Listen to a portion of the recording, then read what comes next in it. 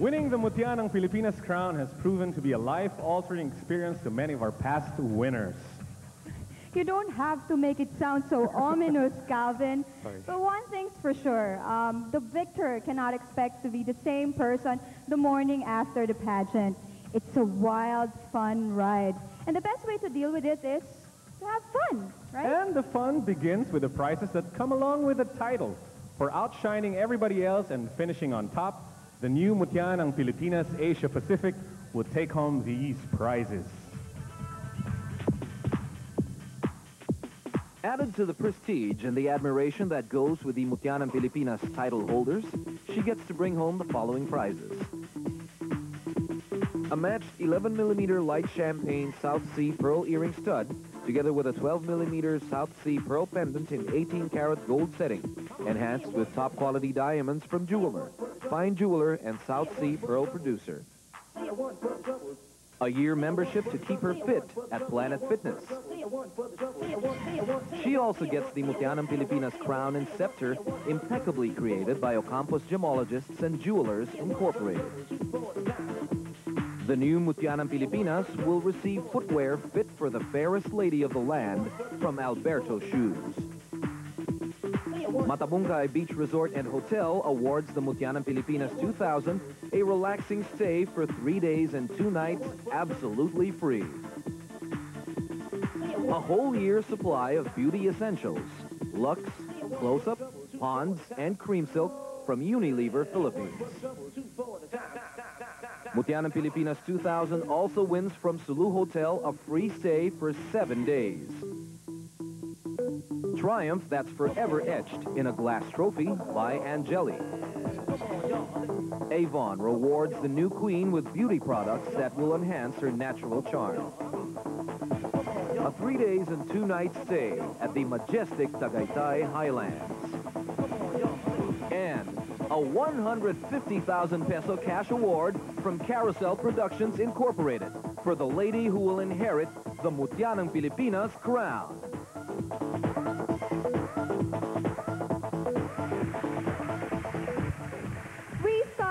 25 candidates and pruned them down to 10. And now is the time to determine the, um, what they call in French, the creme de la creme of this year's candidates with the announcement of the five finalists. That's right. But before we do that, I have a great piece of news. All our five finalists are automatically winners. They will be competing in international pageants. Of course, our Mutya ng Pilipinas will be competing in the Miss Asia Pacific pageant. The runners-up will be chosen to compete in any of the following. The Queen of Clubs, which will be held in Singapore. Miss Tourism International in Malaysia. Queen of the Year also in Malaysia. And Miss Intercontinental in Germany. That's right. So when we trim them down actually to five, they're all considered winners already. That's, That's correct. right, yeah. All right. Now we're ready to announce our five finalists. And may we have the envelope, please, from the SGV. Again, we'd like to remind everyone, we will be announcing the names of our five finalists in no particular order. Good luck, ladies. This is the moment of truth. Mr. Montes, nakasisigurado ba kayo na walang I love you dito pagbasa ko? Sigurado, sigurado. Okay. Our first finalist is candidate number 16, Maria Esperanza Manzano.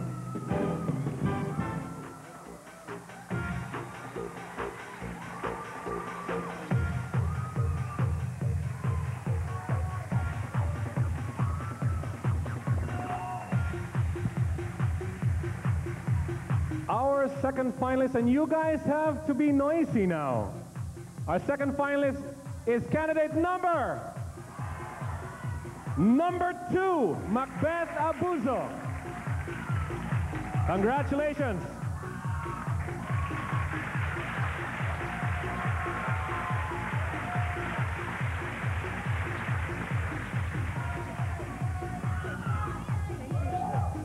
And our third finalist, any guesses? Audience? Yeah, I think I heard it. Candidate number five, Christine De Jesus. Christine De Jesus. Congratulations.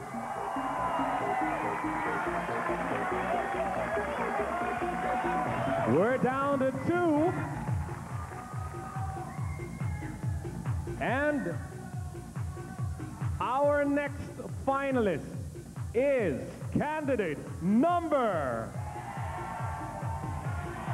number 10, Josephine Canonizado.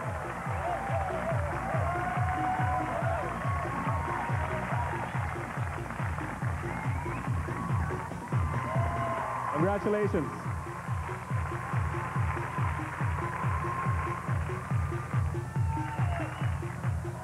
And the lucky one to join the roster of five.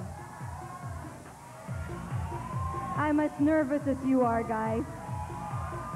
She is, before I announce that, I would like to congratulate all of you girls. You've made it this far. Congratulations. Our fifth finalist is candidate number four, Marie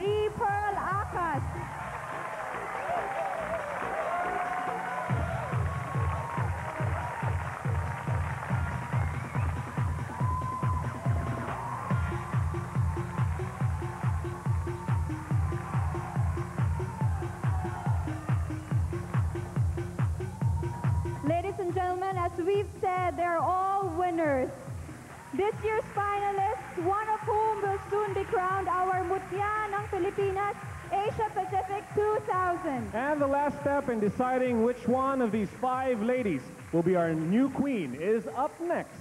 It's the final question and answer portion when Mutya ng Pilipinas 2000 returns.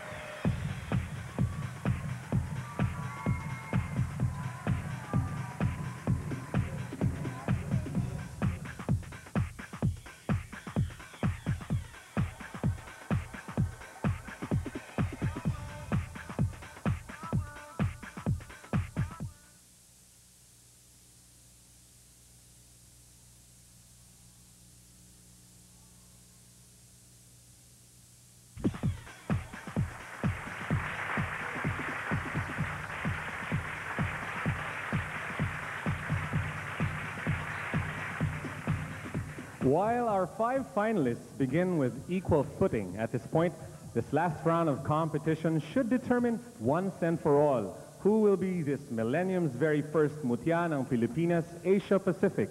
One by one, our candidates will be answering the same final question. But before that, ladies, I must ask you to move towards the back and put on your headsets while candidate number 16 is answering our first question.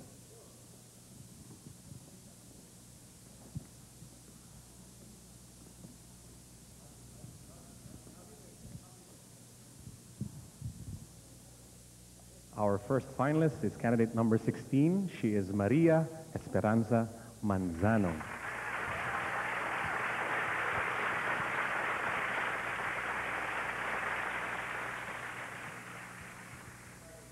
We're playing rock music with that, so they won't be able to hear the question I'm asking. This is your question, Esperanza. Please listen carefully. Let me finish the question first. And question is, with so many problems affecting the country right now, how would you convince the world that the Philippines is still a country of great beauty and beautiful people? Let me repeat that. With so many problems affecting the country right now, how would you convince the world that the Philippines is still a country of great beauty and beautiful people?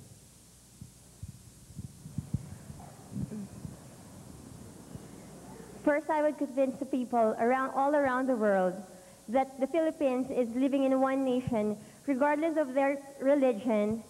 We are still living in a very peaceful manner. That's all. Thank you.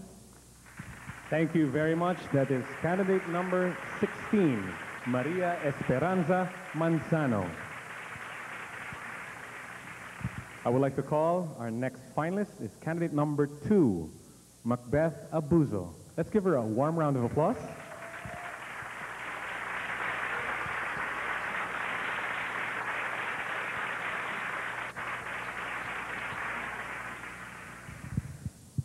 Please uh, listen carefully. This is the question. With so many problems affecting the country right now, how would you convince the world that the Philippines is still a country of great beauty and beautiful people? I would just like to repeat that. With so many problems affecting the country right now, how would you convince the world that the Philippines is still a country of great beauty and beautiful people? Hey, people of the world, world, pardon me. Can you see the Philippines? All the people are very beautiful. Our economy is still growing and it's also increasing and nothing bad is happening. We're still good and you, you can't say that we're going down. That's how I can convince them. Very encouraging. Thank you very much. That's candidate number two, Macbeth Abuzo. Now I'd like to call our next finalist, candidate number five, Christine De Jesus. Let's give her a round of applause.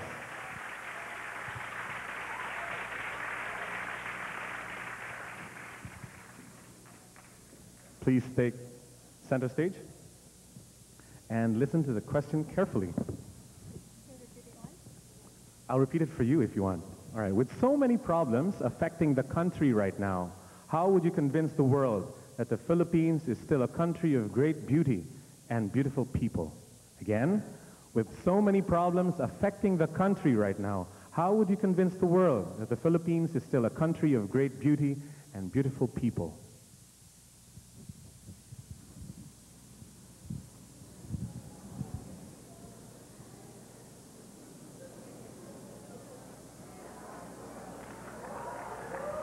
She's actually trying to show you that she is the beauty, all right?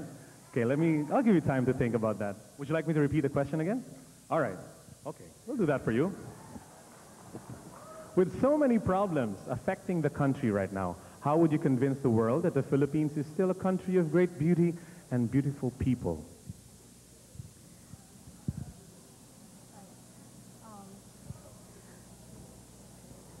Behind all the problems that uh, the, our country, Philippines, is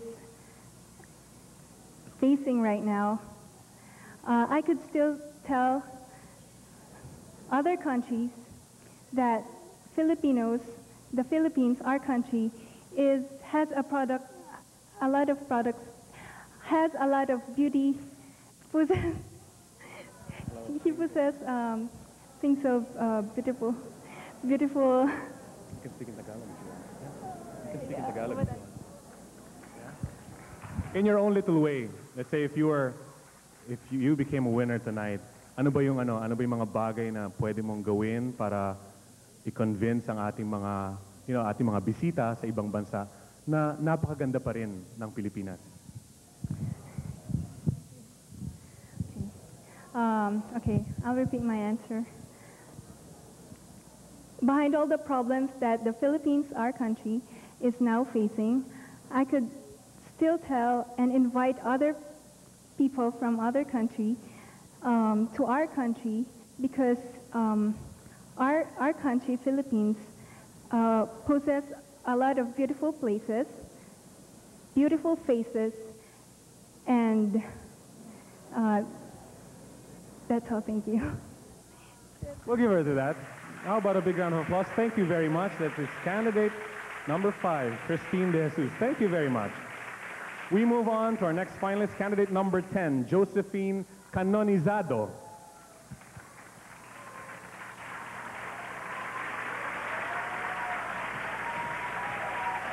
Josephine, please take center stage. And uh, please listen to the question carefully. Quiet, please. Here's the question. With so many problems affecting the country right now, how would you convince the world that the Philippines is still a country of great beauty and beautiful people? Would you like me to repeat the question? With so many problems affecting the country right now, how would you convince the world that our country, the Philippines, is still of great beauty and with beautiful people? I guess I will convince the world that the country, Philippines, is still a great and beautiful place by um, maybe by telling them how great the Philippines is. And despite the fact that the Philippines is actually experiencing a lot of economic problems, I guess I can just tell them and tell the world that with our spirituality and, um, and with our spirituality, I guess the, the Philippines will surpass the problems that we have. So um, I, I will encourage them not to lose faith in the Philippines because I know that the Philippines will attain its progress. Thank you. Thank you very much. Well said. Spirituality prayer, thank you very much. That's candidate number 10, Josephine Canonizado. Thank you. And our last finalist is candidate number 4, Marie Pearl Akas.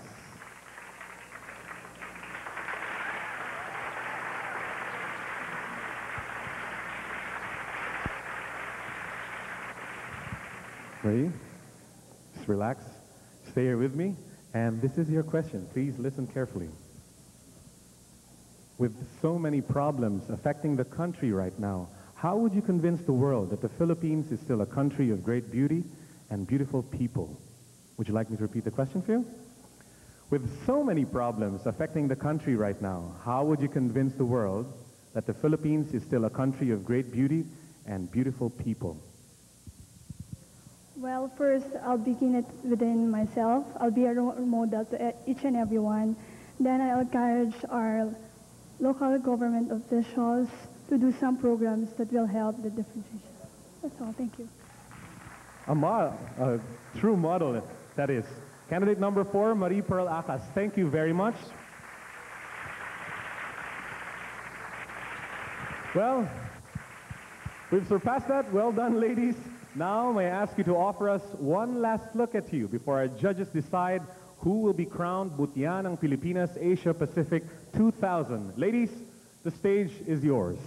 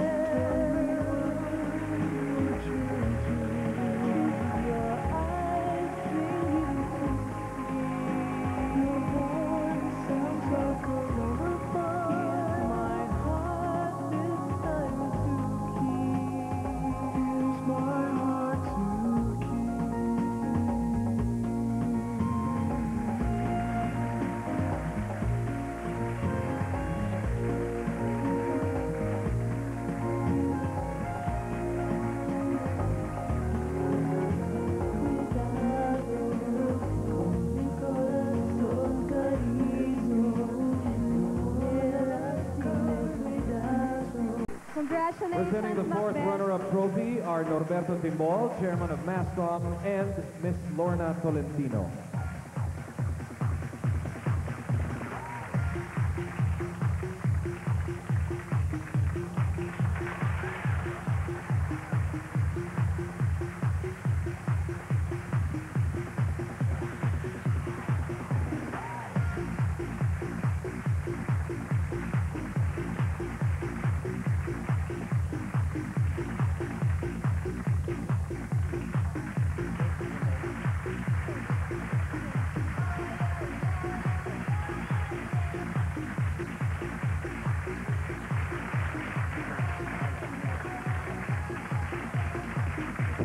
Congratulations. Now we move on to our third runner-up, and she will be our, uh, she'll be representing us in the Miss Tourism International to be held in Malaysia. Ladies and gentlemen, third runner-up is candidate number.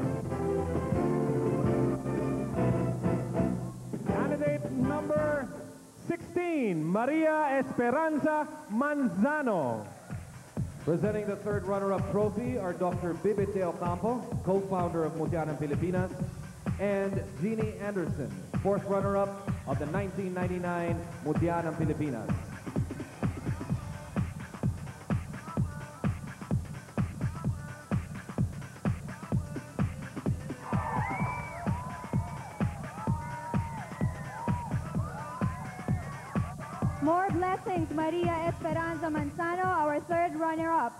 Moving on, our second runner-up, who will be competing, by the way, on our Queen of the Year, representing the Philippines in Malaysia. Second runner-up, Our second runner-up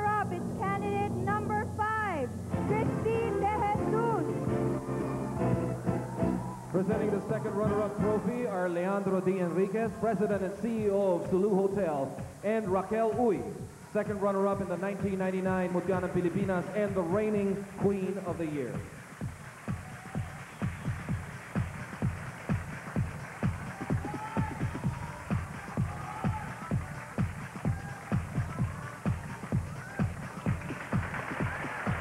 You can do the loudest of cheers now. Just two more names left in the envelope. We will be announcing the first runner-up, which means the last remaining candidate becomes our Mutya ng Pilipinas 2000. Before we do that, our first runner-up will be Miss.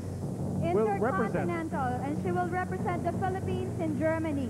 But just a reminder on how important our first runner-up is, if for some reason our winner could not fulfill her responsibilities or continue being Mutya ng Pilipinas, our first runner-up shall take over the crown.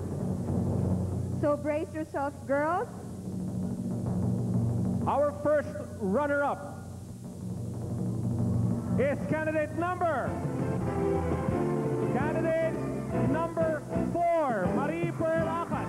And our Miss Mutya ng Pilipinas 2000 is candidate number 10, 10, Josephine Canonizado.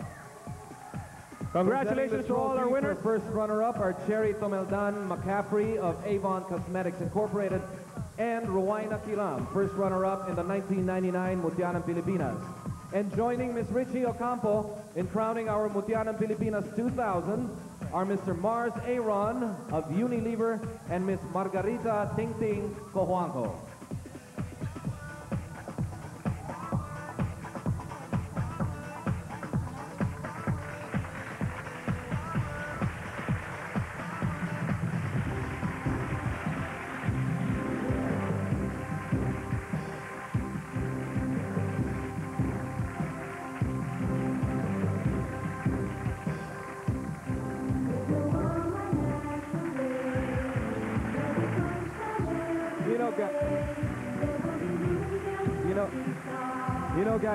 been definitely one fantastic pageant. Don't you agree? And I'm so excited. I'm really so excited announcing the winners that this is going to be the beginning of a most extraordinary life for our new Mutya ng Pilipinas 2000. Don't you agree, Michelle? said it, Charlie. Thus ends another for the most Beautiful Filipinas by the Carousel Production. Congratulations! As we reel into the year 2001, we look forward to another exciting year of Mutya ng Pilipinas. In the meantime, it's good night from all of us here. God bless you all. This has been Calvin Millado. And this has been Charlie Ismael. And Michelle Aldana, mabuhay po tayong lahat. Good night. God bless you all. Good night, everybody. Thank you and good night. See you next year.